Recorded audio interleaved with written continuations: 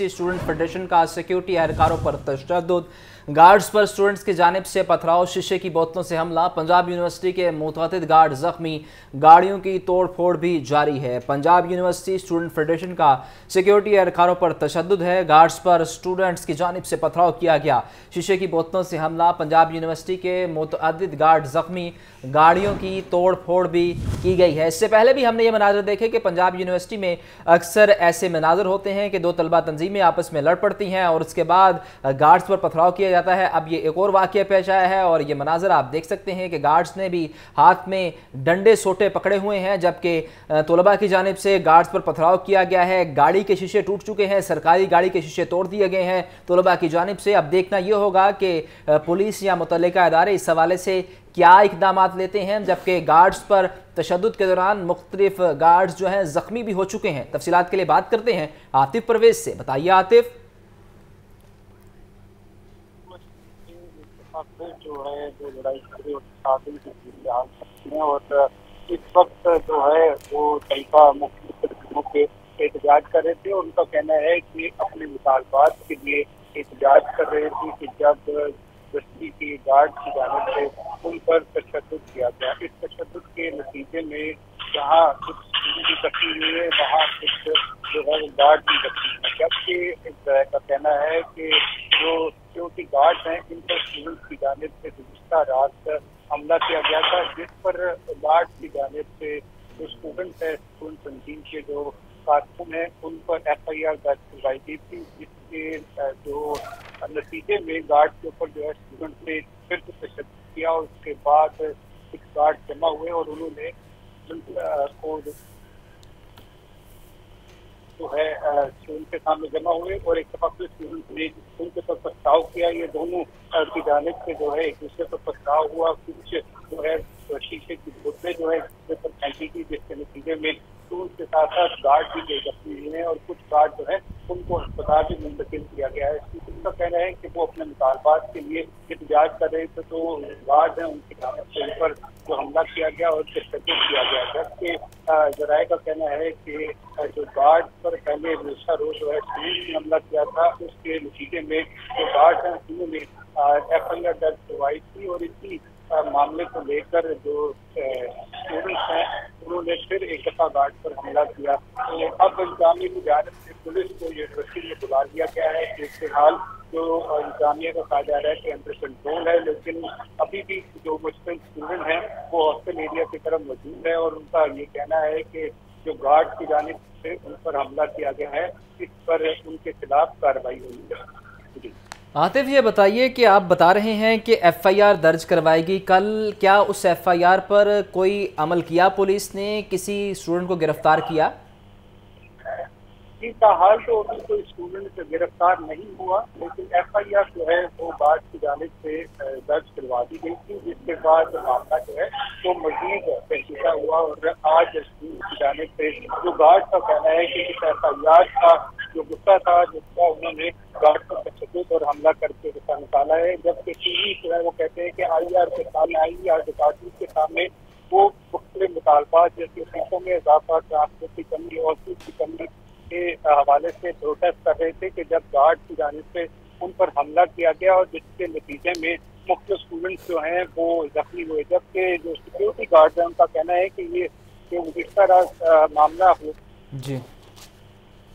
रवायती की इसी का गुस्सा था। स्टूडेंट्स को जो उन्होंने आज दो गार्ड पर पहले तशद किया जिसके बाद और गार्ड जमा हुए और उन जराए का कहना है कि स्टूडेंट्स पर तशद किया। लेकिन स्टूडेंट्स जो है वो अलग पानी मिला रहे हैं तो बता रहे हैं। तो इस सारे मामले पर जो है वो दीगर स्टूडेंट की जाने से जो है मुतालबा किया गया है कि यूनिवर्सिटी इंतजामिया को चाहिए आतिफ हमारे साथ ही रहेगा। हमें ज्वाइन किया है नुमाइंदा लाहौर न्यूज़ सज्जाद काजमी साहब ने, सर, बताइए, इस वक्त जो सूरत हाल देख रहे हैं, गार्ड काफ़ी ज़ख्मी नज़र आ रहे हैं। क्या उन्हें करीब हॉस्पिटल पहुँचाया गया? और अगर पहुँचाया गया है तो उनकी अब तबीयत कैसी है?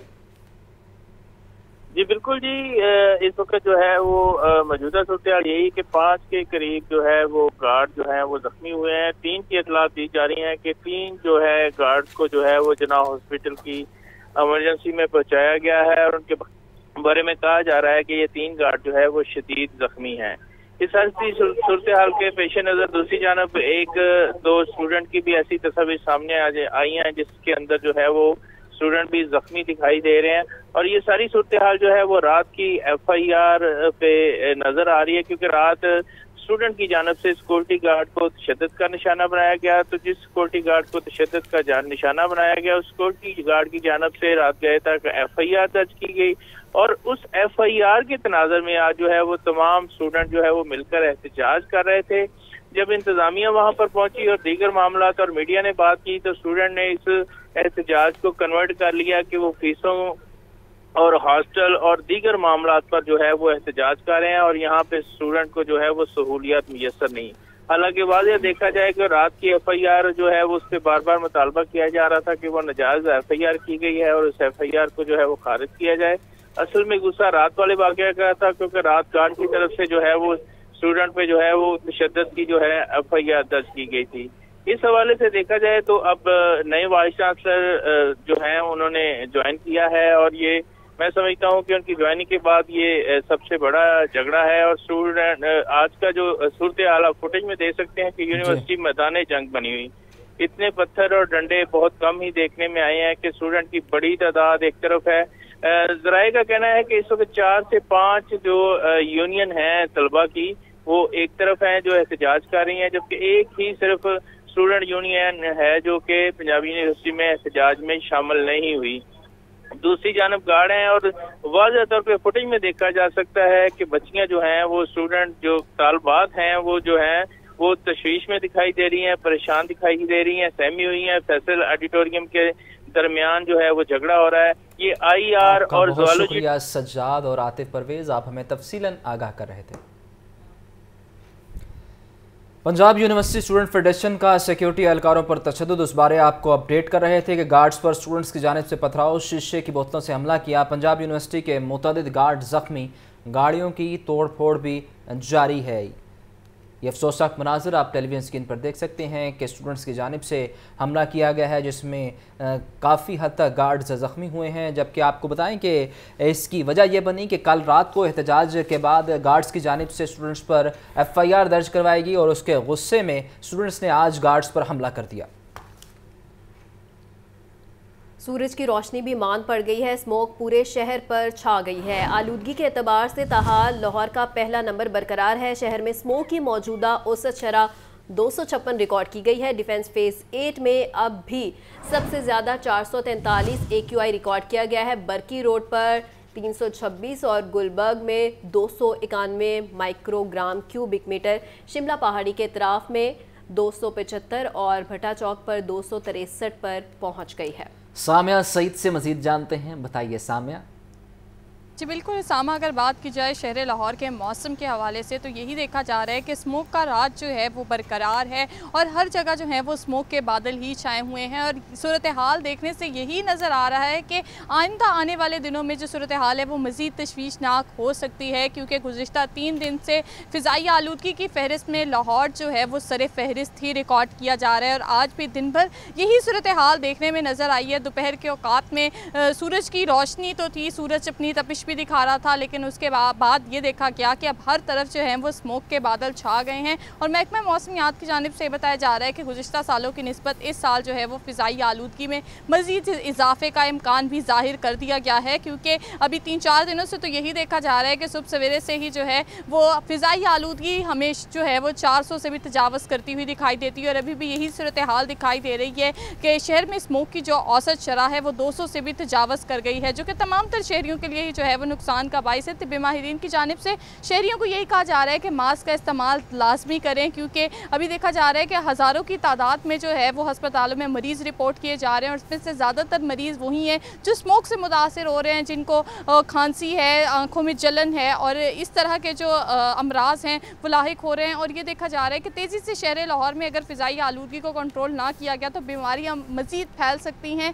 अलबत् पंजाब हुकूमत और महकमा मौसमियात मिलकर जो है, वो मसनू बारिश करने के लिए इकदाम भी उठाए उठा रही है। और बताया यही जा रहा है कि अक्टूबर के अख्ताम पर या नवंबर के आगाज़ में जो है वो मसनू बारिश बरसाई जाएगी। अगर सूरत हाल शहर के मुतद इलाकों की भी मैं बात करूँ तो वहाँ भी तो सूरत हाल जो है वो तशवीशनाक ही होती हुई दिखाई दे रही है। आमिर टाउन के इलाके का एयर क्वालिटी इंडेक्स चार सौ रिकॉर्ड किया जा रहा है, जबकि D H A phase eight जो कि सबसे ज़्यादा वहाँ का एयर क्वालिटी इंडेक्स रिकॉर्ड किया जा रहा है, चार सौ से भी ज़्यादा रिकॉर्ड किया जा रहा है। इसी तरह अगर मैं बात करूँ गुलबर्ग के इलाके की तो दो सौ इक्यानवे वहाँ का रिकॉर्ड किया जा रहा है। बरकी रोड की बात की जाए तो तीन सौ छब्बीस रिकॉर्ड किया जा रहा है। तो देखा जा रहा है कि फ़िज़ाई आलूदगी शहर लाहौर में जो है, वो पूरी तरह ही छा गई है और अभी आइंदा आने वाले दिनों में बारिश बरसने के जो हैं, वो कोई इम्कान ज़ाहिर नहीं किए जा रहे अलबत्त जिससे यही खदशा ज़ाहिर किया जा रहा है कि फ़िज़ाई आलूदगी में मज़ीद इजाफा जो है, वो हो सकता है। पंजाब हुकूमत की जानब से इकदाम उठाए जा रहे हैं और यही कहा जा रहा है कि बहुत जल्द जो है, वो फ़िज़ाई आलूदगी को कंट्रोल करने के लिए मसनू बारिश भी बरसाई जाएगी। अलबत् बताया, महकमा माहौलियात की जानब से यही बताया जा रहा है कि धुआँ छोड़ने वाली गाड़ियों के बारिश जो है वो फ़िज़ाई आलूदगी लाहौर में तेज़ी से बढ़ रही है। जी। ठीक है सामिया बहुत शुक्रिया।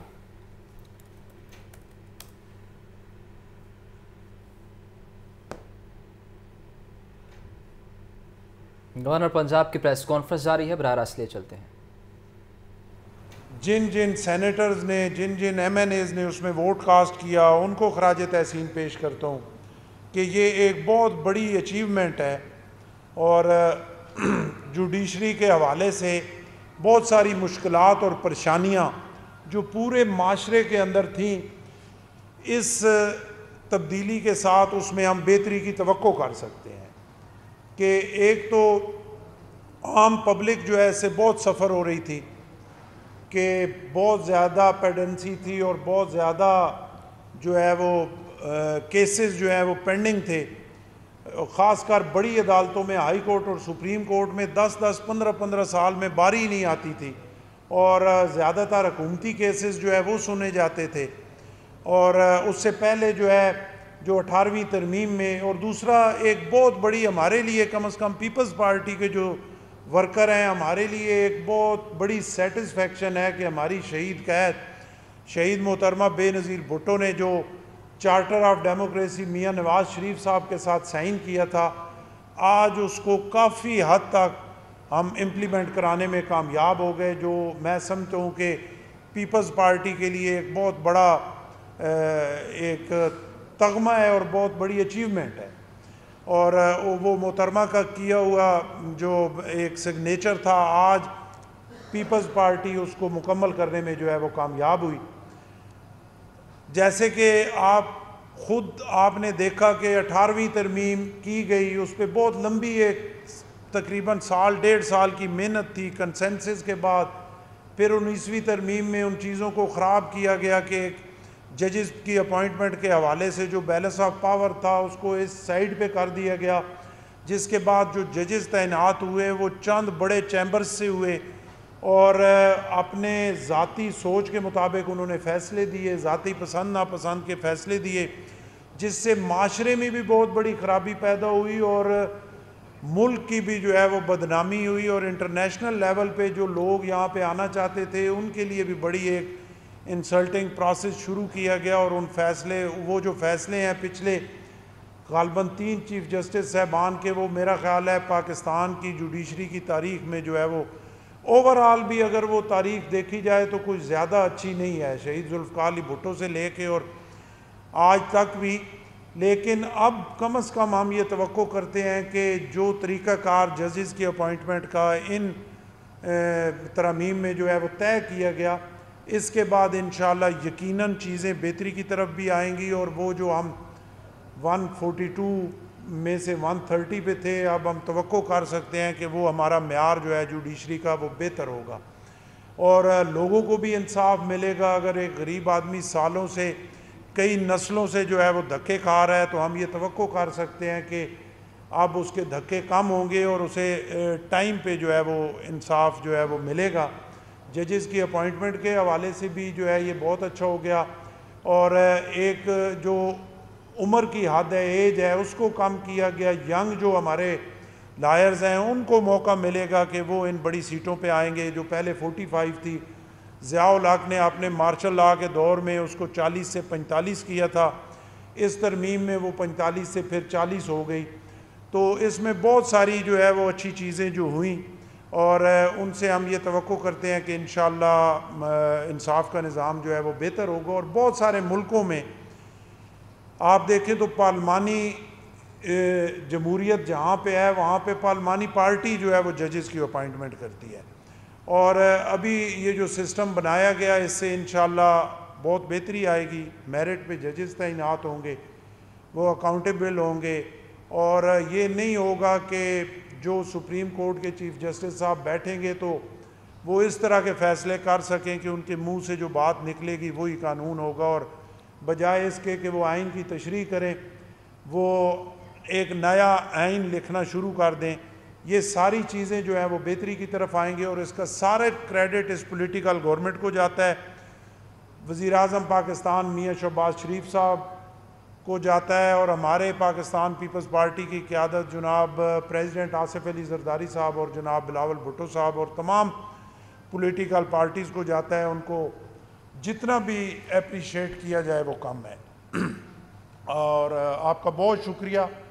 अगर आपने आप कोई क्वेश्चन करना है तो आप एक, एक, एक सेकंड सर सर एक सेकंड क्वेश्चंस का एक डेकोरम बना ले एक एक साइड से। जी नदीप भट्टी साहब।